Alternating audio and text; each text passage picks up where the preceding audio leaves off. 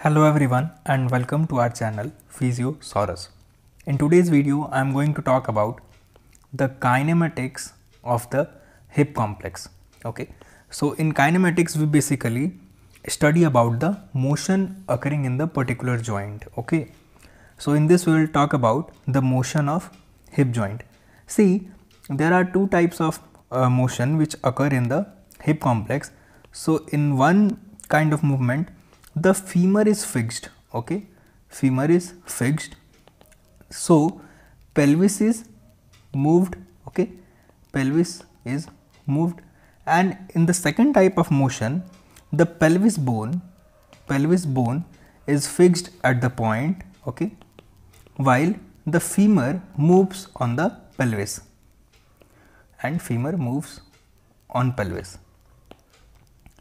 So we will talk about the kinematics one by one. So, in the first case scenario I am talking about motion of femur, motion of femur in the fixed pelvis, okay, fixed pelvis.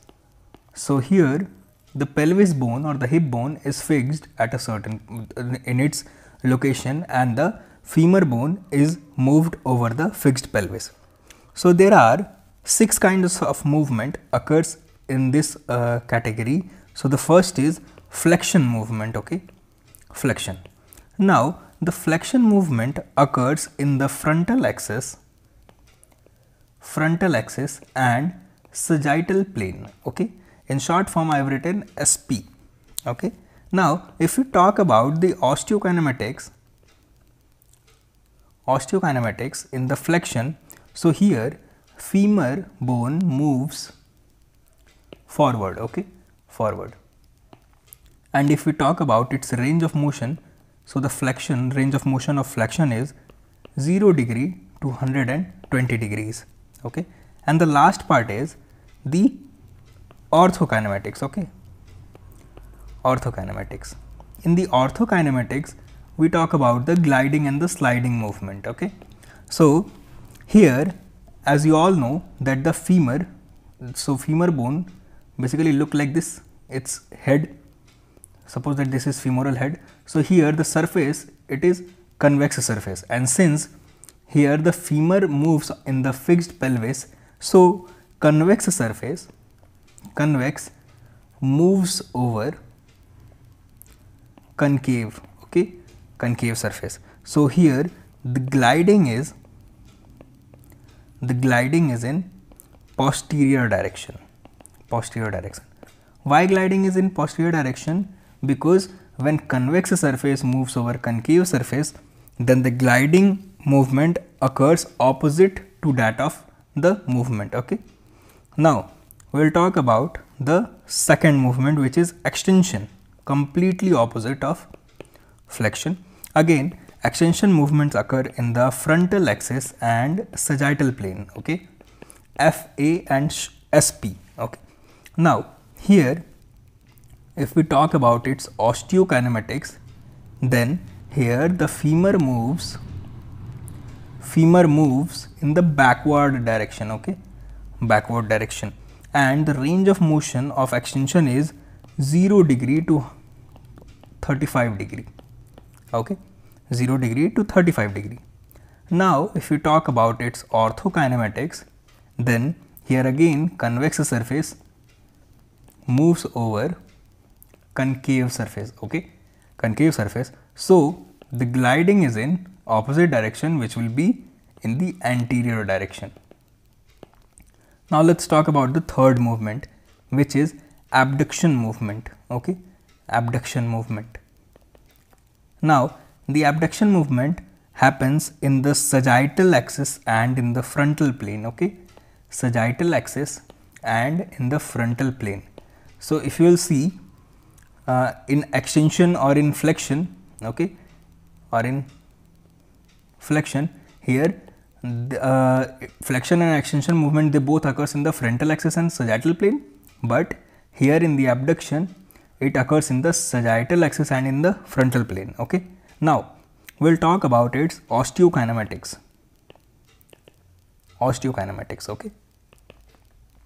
Here, in the abduction movement femur moves medially sorry not medially in the laterally upward okay in the laterally upward direction and the range of motion for abduction is 0 degree to 45 degrees okay?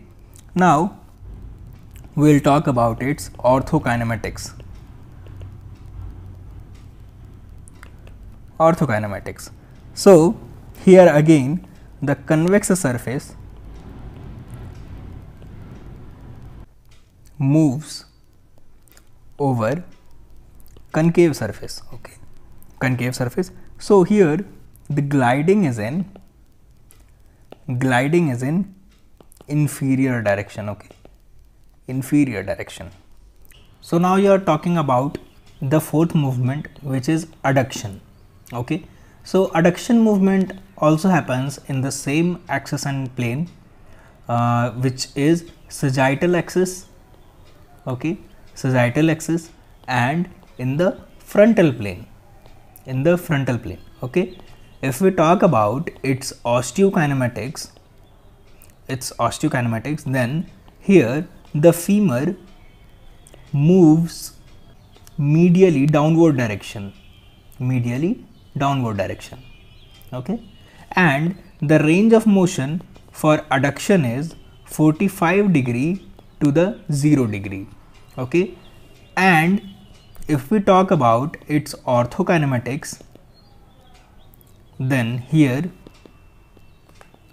as you know that here convex surface moves over concave surface. So the gliding and the sliding movement will be opposite to that which means that gliding will be in the superior direction okay? Superior direction. Now Let's talk about the fifth and the sixth movement which is medial rotation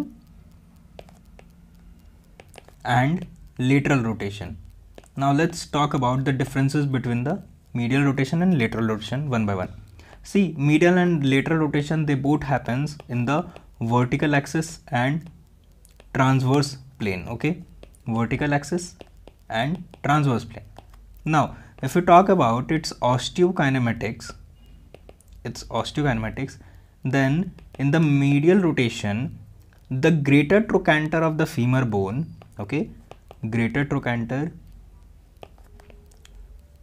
greater trochanter of femur bone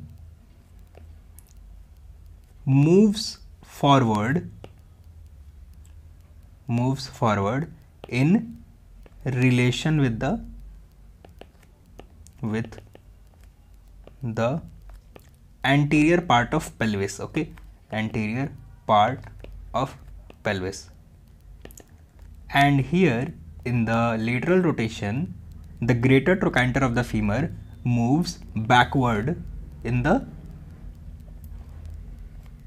relation of uh, anterior part of the pelvis. So here in the medial rotation the greater trochanter was moving forward while in the lateral rotation greater trochanter was moving backward in relation with the anterior part of the hip bone.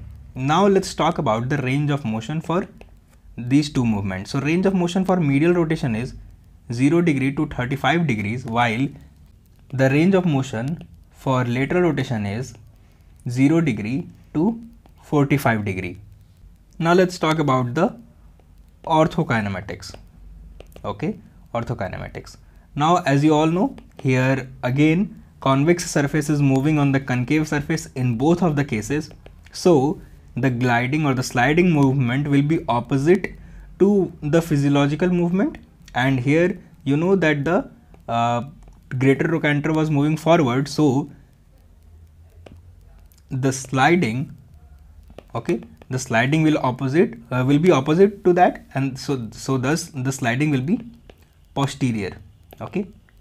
Posterior and here the sliding will be anterior okay? Because the greater trochanter was moving backward in relation to the pelvis bone. So now see this picture to understand how the flexion and extension and all those six movement happens. So here the first picture in the left side it shows the flexion okay? Here this one is the flexion movement. So as you can see here the leg moves forward and if the leg moves backward then it is the extension movement. So and internal and external rotation happens like this okay? Like this one. And the abduction and adduction movement happens like this. When the both thighs are closer to each other then the movement is adduction. And the both thighs when they are far away from each other then these are known as abduction.